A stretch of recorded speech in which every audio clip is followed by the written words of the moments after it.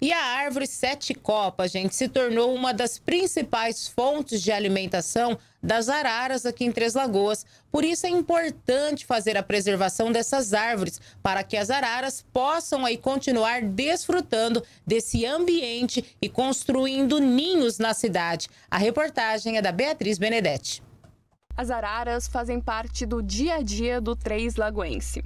O primeiro ninho da espécie foi feito em uma palmeira imperial, em frente à igreja matriz. Atualmente, elas utilizam diversos pontos do centro da cidade para se reproduzir, buscar alimentos e também para descansar. Três Lagoas se tornou uma verdadeira casa para essas aves. José Raguz é professor da Universidade Federal de Mato Grosso do Sul e doutor em zoologia. Ele explica por que o interesse dessas araras pelo centro da cidade. Essa arara passou de uns anos para cá a ter como principal alimento é, os frutos e, em particular, as sementes das árvores de sete copas ou chapéu de sol, é, como queiram, tá certo? É, essa espécie de, de árvore ela tem um tipo de frutificação muito interessante e incomum, né? porque enquanto nós temos a grande maioria das espécies frutificando numa determinada estação, por um período que pode variar às vezes de dois a seis meses, a sete copas não, ela frutifica, ao final da frutificação ela já começa a florescer, já começa a produzir frutos, enfim, hoje nós temos uma oferta permanente de alimento para essas araras aqui na cidade. E como a densidade de sete copas é maior no centro do que na periferia, então elas têm estado muito no centro. Além disso, a caça das espécies nas matas é mais um dos motivos que potencializa a migração para ambientes urbanos, como explica o professor. Esses animais são é, muito capturados para serem animais de estimação, para serem pets tá certo?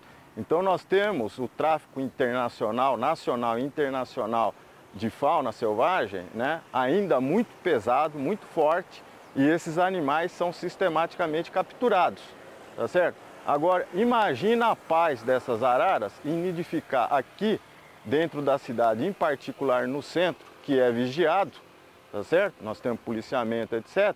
E também nós temos o afeto da população, né? Eu acho que o Três Lagoense adora essas araras, né? quer quanto mais é, possível ter elas por perto.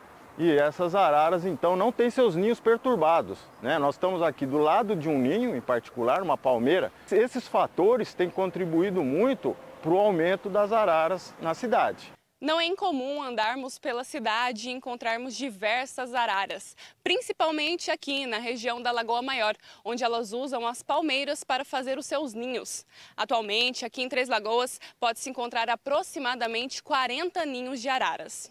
A ideia de que as araras matam as palmeiras e possam se tornar uma praga em Três Lagoas é um equívoco. Na verdade, as araras selecionam apenas algumas dessas árvores para fazerem ninho.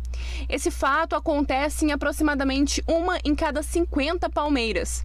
Portanto, não deve se tornar uma preocupação para a população como elas utilizam as palmeiras para fazer seus ninhos e mais recentemente começaram a se alimentar das sete copas, é necessário a preservação dessa flora na cidade. A maior preocupação, portanto, é com o corte dessas árvores. É que essas árvores de sete copas são grandes, quebram calçadas, ultrapassam os telhados e aí pode haver quebra de galho e cair sobre o telhado, é, é, atingem a fiação e aí também podem causar problema para a rede elétrica. E a gente vê que essas árvores, vira e mexe, estão sendo cortadas. E tirar uma árvore madura dessa e produtiva é tirar, às vezes, até uma tonelada de alimento. Né? E se pensar no, ao ano todo quanto ela produz, né?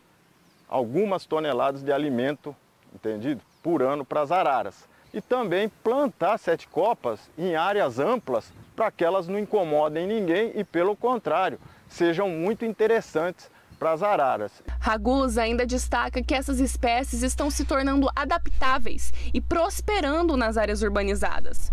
Com isso, é essencial o cuidado para fazer das ruas da cidade um ambiente confortável para as araras, preservando assim a espécie.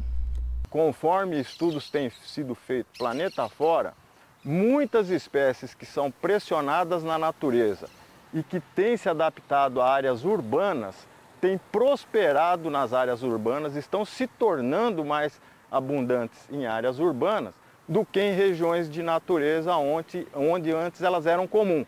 Mas com o desmatamento e com a captura de filhotes, o número vem declinando muito, tá certo? Nós temos uma situação é, aqui no Mato Grosso do Sul severa de perda do cerrado, tá certo? No estado de São Paulo, muito pior ainda. Então, quer dizer, as áreas aqui para a vida das canindés estão se tornando cada vez mais difíceis.